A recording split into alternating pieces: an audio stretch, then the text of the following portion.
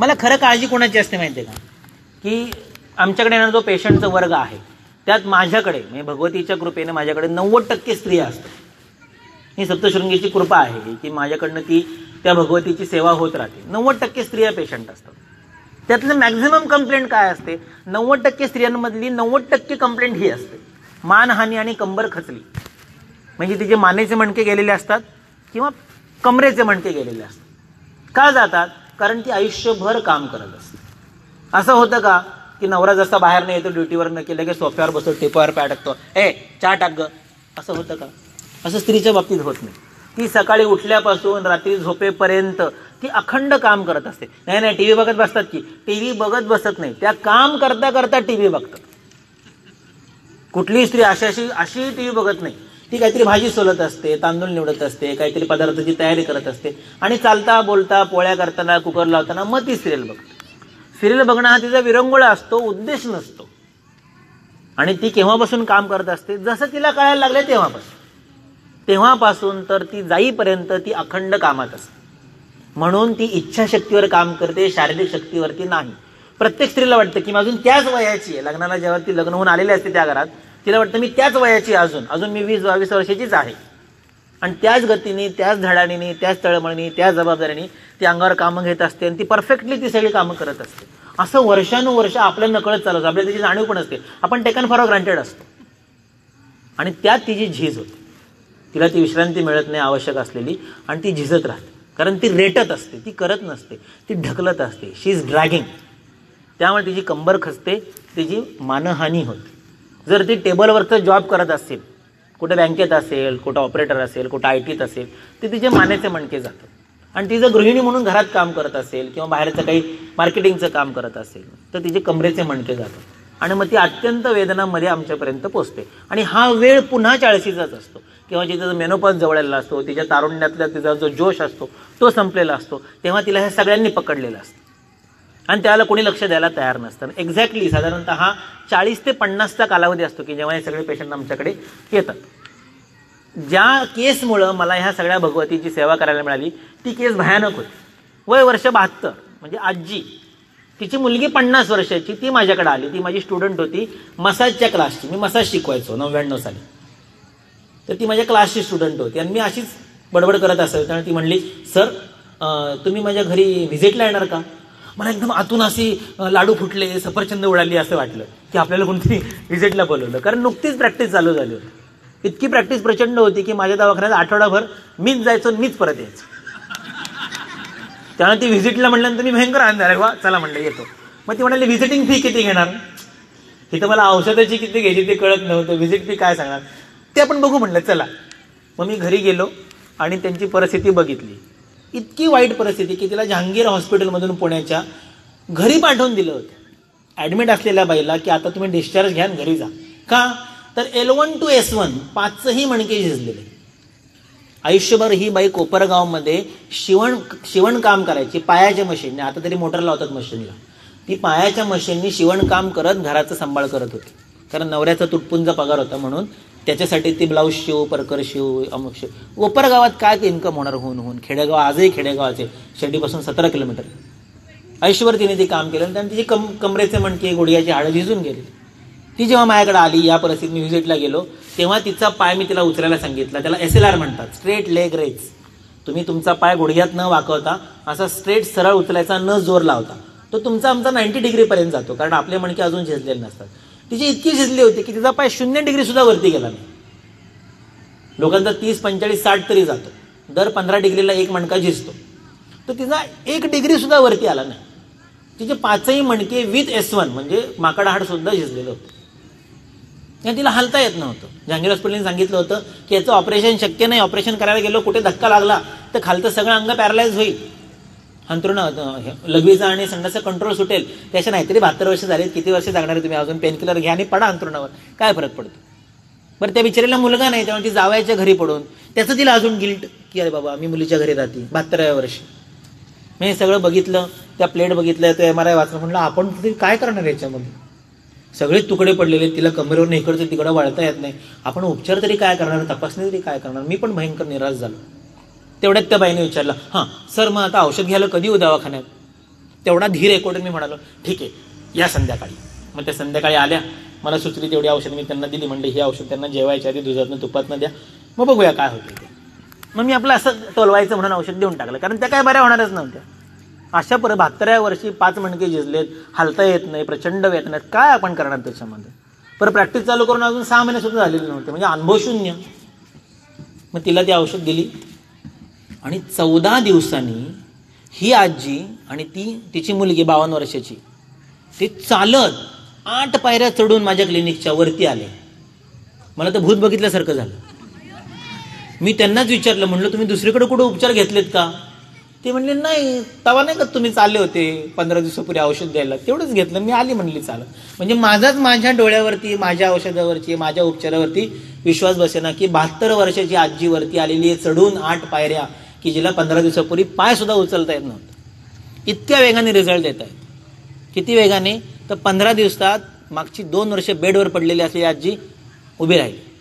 ती पुढे दीड महिन्यात बरी झाली. दीड महिन्यात तिचं औषध बंद केलं. ती जावायच्या घरनं स्वतःच्या कोपरगावच्या घरी गेली.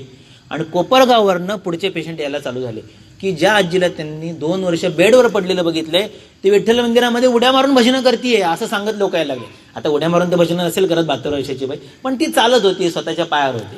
And that triggered my practice that triggered की आयुर्वेदामध्ये काय ताकद असू शकते. त्या पद्धतीने.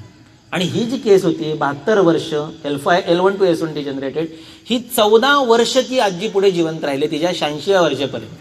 दर पाढायला ती मला फोन करायची सकाळी. की डॉक्टर मी मुळे आजी बोलते मी त्यांना नमस्कार म्हणलं की काही नाही तुम्हाला फक्त आशीर्वाद द्यायला फोन केलाय मी बरी आहे मला काही त्रास नाही. असं दोन चार वाक्य बोलून ते फोन ठेवून द्यायचे. असं सलग चौदा वर्ष त्या आजीने मला आशीर्वाद दिला. आणि तो आशीर्वाद पुढच्या एक हजार केसेसला पुरला. आज एक हजार केसेस पुरण्यात या प्रकारच्या. किती दिवस उपचार घ्यायला लागतात? बेचाळीस दिवस सहा आठवडे दीड महिने. मी किती दिवसात रिझल्ट यायला पाहिजे? दीड महिने. मग किती अवघड असो आता एखाद्याचं कर्म असतं माझ्याकडे योग नसतात तर एखादा पेशंट नाही बरा होत. प्रॅक्टिस ही कधी शंभर टक्के नसते. त्याला थोडासा कमी जास्तपणा असतो. तो मी मान्य करतो. मी काही सर्वज्ञ नाही आहे मी काही चमत्कार करणारा माणूस नाही आहे शास्त्रावरती विश्वास ठेवून पेशंटच्या श्रद्धेला धरून आपल्या बुद्धीने केलेला उपचार त्या पेशंटला बरा करतो ही भगवंताची कृपा. आय ट्रीट ही क्युअर्स पण ह्याच्यामागं शास्त्र आहे. मी तिला सांगितलं ह्या गोळ्या तुम्ही दूध आणि तुपामध्ये जेवायच्या आधी घ्यायच्या. मणक्याच्या मध्ये जी गादी असते ती झिजते. म्हणजे हाड झिजलेला आहे त्याला तरुण असती म्हणतात. जगात कोणाचंही हाड झिजत नाही. कारण मणका एवढा असा दणकट असतो. तुम्ही दोनशे वर्षांनी जर एखादं प्रेत पुरलेलं करून काढलं तर त्याचे मणके हे झिजत नाहीत. हाड कधीच झिजत नाही. त्या दोन हाडांच्या मध्ये एक तरुण असते म्हणजे सॉफ्ट हाड असतं. त्याला आपण कुर्चा म्हणतो कार्टिलेज म्हणतो. त्याला डिस्क म्हणतात ती झिजते. आणि ती झीज भरून काढणं हे शक्य असतं. कारण काय होतं ती डिस्क झिजल्यामुळे दोन मणके अंतर सोडून खाली येतात. त्यांच्यामधनं दोन्हीकडनं एक एक नर बाहेर पडते त्याच्यावर प्रेशर पडतं. ते प्रेशर पडलं की तुम्हाला वेदना होतं त्याला म्हणायचं डिजनरेशन झिजणे. कधी कधी डिस्क बल्ज होतो पुढे सरकतो. तुम्ही वडापाव खाता की नाही? पाव असा उघडता त्याच्यात वडा घालता आणि तो असा धरून खाता. समजा इकडनं दाबला तर काय होईल? वडा असा पुढे सरकेल. तसं वरचा मणका खालचा मणका यांच्यावर प्रचंड प्रेशर आल्यामुळं ते दाबलं जात नाही ती डिस्क पुढे सरकते. याला म्हणायचं डिस्क बल्ज कधी कधी स्लिप डिस्क होते. काहीतरी कारणाने किंवा खूप प्रेशरने खूप प्रवासाने त्याची जागा सरकते. त्याला म्हणायचं स्लिप डिस्क हे सगळ्यामध्ये काय होतं की ती जी लाईन आहे एक मणका एक डिस पुढचा मणका पुढची डिस यातनं बाहेर पडणारा नर. याच्यावरती त्यांच्या जागा बदलल्यामुळं प्रेशर येतं आणि प्रचंड वेदना होतात. इतक्या वेदना की हात वरती केलेला असतो ती बाई तशीच लॉक होते. कोणीतरी बाईकवरती पाय टाकत असतो तो असाच लॉक होतो. हलताच येत नाही असंच असे ॲडमिट करायला लागतं. अशा कित्येक केसेस की असंच उचलून आणलं. अशी परिस्थिती आहे. मग हे कसं भरून काढायचं? तर एक अडीच किलोचं बाळ जन्माला येतं. एवढंच. बरोबर? मग ते साधारणतः वर्षभरात एवढं होतं. कसं काय होतं? काय खातं पितं ते? तर ते दूध पितं आईचं दूध पितं. दुसरं काही ते खातं का? प्राया नाही. काही अति मॉडर्न सेरेलॅकवाली लोक सोडली तर साधारणतः पहिलं वर्ष बाळ हे आईच्या दुधावर असतं. म्हणजे हाडांची लांबी वाढवण्याचं काम कोण करू शकतं? दूध करू शकतं. किंबहुना शरीरातला प्रत्येक घटक वाढवण्याची ताकद ही आईच्या दुधामध्ये. पण आता बहात्तराव्या वर्षी आईचं दूध मिळणार आहे का? नाही. म्हणजे मिळेल ते दूध. हल्ली गाय म्हैस नसते. दूध देणारा प्राणी असतो. काहीतरी असतो बाबा मग जे दूध मिळालेलं आहे त्याला त्या हाडांपर्यंत जाण्यासाठी मार्गदर्शन करण्यासाठी म्हणून आम्ही त्याला गोळ्या देतो. बरं आता हे झिजलंय की नाही? झिजलंय. मग ते झिजलंय म्हटल्यानंतर ते घासलं नाही पाहिजे. एखादी गोष्ट झिजली की ती घासून झिजते ना? मग त्याच्यातलं वंगण संपलेलं असतं वर्षानुवर्ष काम करून. मग ते वंगण जायला पाहिजे म्हणून आम्ही तूप खायला सांगतो तेल नाही. ऑल ऑइल्स आर बॅड जगातलं कुठलंही ऑइल चांगलं नाही. ऑलिव्ह नाही बदाम नाही घाण्याचं नाही तिळाचं नाही करडईचं नाही जेमिनी नाही कारगिल नाही कुठलंच नाही. ऑल ऑइल्स आर बॅड कारण ती वनस्पतीजन्य आहे त्याचं शरीरात कन्व्हर्जन लवकर होत नाही. ॲनिमल टू ॲनिमल जे आहे फॅट त्याला म्हणतात तूप. तुपाचं कन्व्हर्जन शरीरात आहे तसं होतं कारण ते संस्कार करून येतं. ते दुधातनं दया दह्यातनं ताका त्यातनं लोण्यात लोण्यातनं तुपात. असं बदलत बदलत संस्कार होत म्हणजे ready to convert into body इतकं ते असतं. म्हणून आम्ही त्यांना तूप खायला सांगतो की जेणेकरून आम्ही जे आता झिजलेलं भरून काढणार आहे त्याच्यामध्ये वंगण आलं पाहिजे. नाही तर मी भरून काढणार पुन्हा घासणार पुन्हा तुटणार. बरं अशा पेशंटला आम्ही काय प्लास्टर घालून ॲडमिट करत नाही आमच्या दवाखान्यात. दवाखाना किती आहे बाबा आमचा? पंधरा बाय दहा दीडशे स्क्वेअर फुटात गेले वीस वर्ष प्रॅक्टिस चालू आहे. म्हणजे दीडशे स्क्वेअर फुटात जर हा चमत्कार करायचा असेल तर त्याला ॲडमिट करणं शक्य नाही. म्हणून आम्ही काय करतो की तिला म्हणतो की बाई जर मी आत्ता भिंत बांधायला चालू केली ते ओलं येते त्याला धक्का मारू नको. म्हणून मध्ये वंगण घाल म्हणून तूप खा. तर तूप दूध आणि ते तूप दूध कुठं जायचं याच्यासाठी गोळ्या दिल्या की साधारणतः दीड महिन्यामध्ये तो माणूस त्याच्या पायावर उभा राहतो. ह्या सगळ्याला बस्ती देतात लोक. आमच्यातली काही लोक आहेत त्याला तिक्त क्षीराचं बस्ती देतात. मला काही ते कधी पटलेलं नाही आहे कारण माझ्याकडे दीडशे स्क्वेअर फुटाचं क्लिनिक संडस नाही टॉयलेट नाही पाणी आत जायला वाट नाही काही नाही इनलेट नाही आउटलेट नाही. खिडकी नाही. अशा ठिकाणी कुठं मी पंचकर्म करत बसू? बरं समोरच्याला बस्ती घे म्हणले की त्याला एम्बॅरेसिंग होतं. कसं तरी वाटतं? काय? असा कुठं उपचार असतो का तुमच्याकडे? असा पण प्रश्न येतो. बरं सलग दीड महिना बस्ती द्यायचा आहे. तो रोज माझ्याकडे यायचं म्हणजे त्याला परवडायचं कसं? पुण्यात ट्रॅफिक जॅमचे प्रॉब्लेम पार्किंग कुठे करणार तो? म्हणून मी काय केलं? आमच्याकडे असा नियम आहे की मगाशी जसं सांगितलं की रात्री झोपताना पिलेला पदार्थ खाल्लेला पदार्थ डोक्यात जातो. तसं जेवायच्या आधी खाल्लेला पदार्थ हा पक्वाशयात जातो. म्हणजे मोठ्या आतड्यात जातो. म्हणजे संडासच्या ठिकाणी जातो जेवायच्या सुरुवातीला घेतलेला पदार्थ. मग बस्ती कुठे जातो? जर आम्ही एनेमा दिला मेडिकेटेड एनेमा म्हणजे बस्ती. तो कुठे जातो? तो तिथेच जातो. मग जिथे बस्ती जातो तिथे जर मला माझं औषध तोंडाने पोचवायचं असेल तर मी ते कधी घेतलं पाहिजे? जेवायच्या आधी. मग मी जेवायच्या आधी दूध तूप आणि माझ्या त्या डायरेक्ट करणाऱ्या गोळ्या त्यांना दिल्या की साधारणतः दीड महिन्यात हे सगळं भरून येतं आणि माणूस आयुष्यभर बरा राहतो. माझे सर येते ते म्हणायचे बरं वाटणं फार सोपं आहे. बरं कशानेही वाटतं. फरशीवाले बाबा अंगारा धुपारा मंत्र अभिषेक स्तोत्र कशानेही बरं वाटतं. बरं वाटतं कारण बरं वाटणं हा भास आहे. बरं होणं हे तुमचं कर्तव्य तुम्हाला पेशंटला बरं करता आलं पाहिजे. त्यामुळे बरं वाटणं इज इझी बरं वाटणं हे तुमचं कर्तव्य आहे. यश काय आहे? बरं राहणं. तो पेशंट तुमच्या औषधाने एकदा त्याला बरं वाटलं की पुन्हा त्याच आजाराने आजारी पडता कामा नये.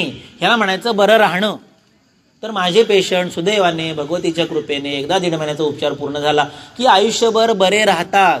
मरेपर्यंत मरेपर्यंत त्यांना तो त्रास परत होत नाही. ही त्या भगवतीची कृपा की तुम्ही या पद्धतीने काम केलं की मला बस्ती द्यायला लागलेलं नाही मला पंचकर्म करायला लागलेलं नाही. पंचकर्माचं पर्याय नाव आहे शोधन. शोधन म्हणजे झाडून काढणे. संपूर्ण शरीराचं शोधन स्वच्छता करणे. मी त्याला गमतीने म्हणतो शोधन. शो युअर धन टू मी आमच्याकडे सगळं आय टीतली लोक. त्यांना कंपनी बिल पे करते त्यामुळे ते कशाचे पंचकर्म करून घेतात. अशी आमच्याकडे परिस्थिती की शोधन नाही. शोधन. तर मला ते करायचं नाही. मी पेशंटकडं पेशंट म्हणून बघत नाही. मी पेशंटकडे गिराईक म्हणून बघत नाही. मी पेशंटकडे क्लायंट म्हणून बघत नाही.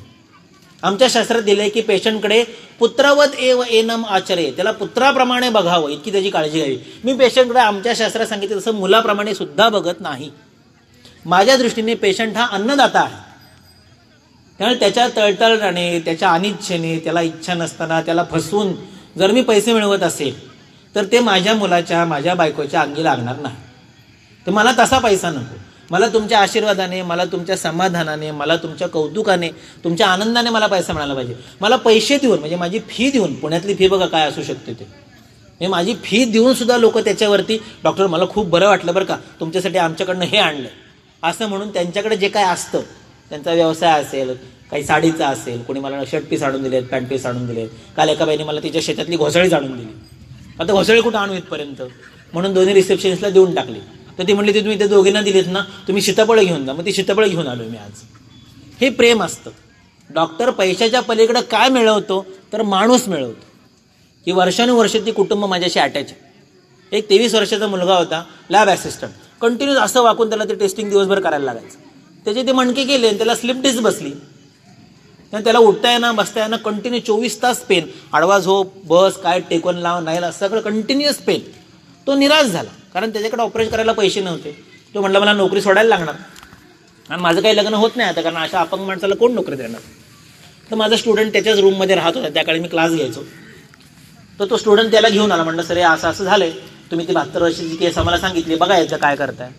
काय करणार? मी आहे त्या पद्धतीने त्याला ट्रीट केला.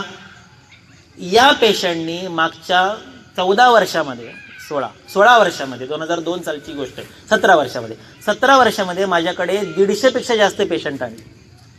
तो तर बारा झाला त्याची नोकरी तर टिकलीच. आज तो त्याच लॅबमध्ये त्या डिपार्टमेंटचा एच ओ डी आहे. त्याच्या बायकोला दीड महिन्यापूर्वी त्रास झाला. तिला असं ती काहीतरी मेस चालवत होती म्हणून पोळ्याचा डबा वरती काढायला गेली. असे हात केले. अशीच लॉक झाली पूर्ण. अशीच ॲडमिट केली तिला. शनिवार संध्याकाळची गोष्ट होती. ॲडमिट केली. ते म्हणले एम आर आय केला आहे ते सगळे मणके झिजले तिला उद्याच्या उद्या ऑपरेट करायला लागेल नाही तर हलणार नाही ती. तर शनिवार संध्याकाळ होती. ते म्हणाले पेशंट थांबा म्हणले. आजच्या काय औषध द्यायचं द्या डिस्चार्ज द्या.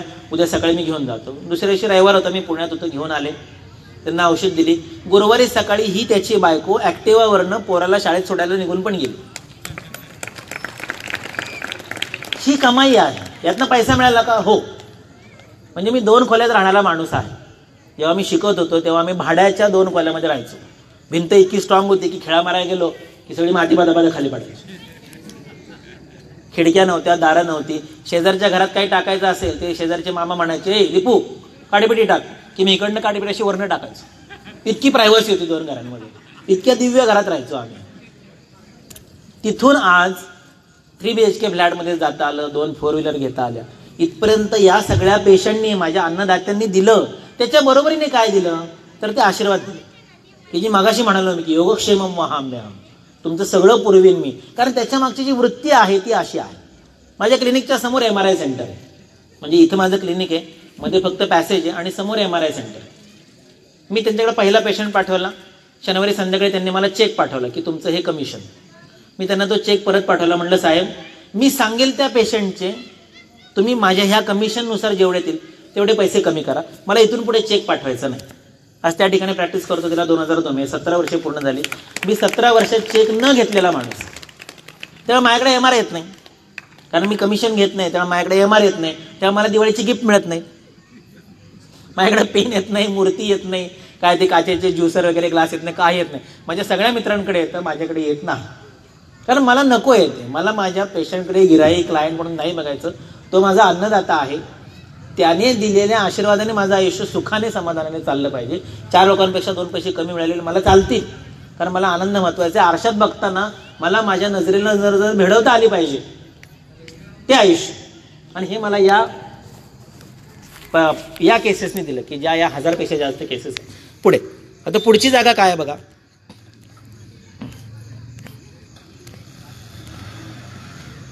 हां. हे आता तुम्हाला सांगून झालं उद्या ऑपरेशन आहे आज बरं करूया.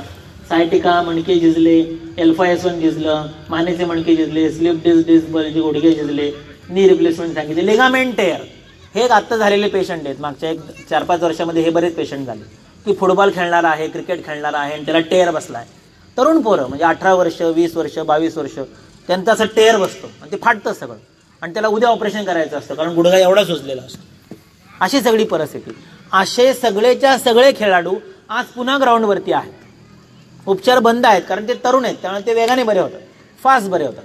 म्हणजे सगळे ligament tear A C L असेल पोस्टेरियर असेल लॅटरल असेल एम सी एल असेल दोनच क्रुशेट लिगामेंट असतात. आणि जे आतले आणि बाहेरचे आहेत लॅटरल आणि मिडियल हे कोलॅटरल लिगामेंट असतात. तर चारही प्रकारचे टेअर ट्रीट करण्याची संधी मागच्या चार पाच वर्षात मिळाली. सगळीच्या सगळी पोरं सुद्धा बरी एक तर असं आहे की महाराष्ट्र सॉरी देशातल्या ऐंशी महानगरपालिकेचं जलशुद्धीकरणाचं कॉन्ट्रॅक्ट त्याच्याकडे. म्हणजे काय पैसा असेल बघा तो माणूस कंटिन्युअस फ्लाईटमध्ये असतो. पण तो क्रिकेट खेळतो रोज सकाळी. बाँड्रीवरनं पळत येऊन पेस बॉलिंग टाकतो जोरात बॉलिंग ते केव्हा तरी असं टाकताना पाय ट्वीट झाला आणि बसला टेअर सुजलं ते सगळं. तो एकमेव पेशंट आहे माझ्या संपूर्ण प्रॅक्टिसमधला की ज्याने एम आर आय परत केला. आधीचा एम आर आय आणि नंतरचा एम आर आय कारण लोक पुन्हा बरं झाल्यानंतर एम आर आय करत नाहीत बरं झालं का बघायला? कारण बरं झालं ना ऑलरेडी कारण एम आर आय करायला जेवढे पैसे लागतात त्याच्या निम्म्या पैशात माझ्याकडे पेशंट बरा होतो. कारण तो पुन्हा एम आर आय करत नाही. पण त्याच्याकडे पैसे असल्यामुळे त्यांनी पुन्हा एम आर आय केला. आणि मला आणून दाखवला की सर हा आधीचा एम आर आय लिगामेंट टेअरचा आणि हा नंतरचा एम आर आय दाखवल्यानंतर सर्जननी मला विचारलं की कुठं फाटलंय म्हणून? म्हणजे इतक्या नैसर्गिक पद्धतीने ते हिल होत. इतकी ताकद या सगळ्या उपचारांमध्ये आहे. आता आपल्याला काय करायला पाहिजे? ते असं होऊ नये म्हणून. ठीक आहे मणके झिजले तुम्ही माझ्याकडे आलात किंवा माझ्यासारख्या एखाद्या वैद्याकडे गेलात त्याने तुम्हाला बरं केलं. ओके असं होऊच नाही म्हणून काय करायला पाहिजे? तर माझी जी आजी होती ती कंबर बांधायची. कारण ती नऊवारी पाडी साडी नेसायची.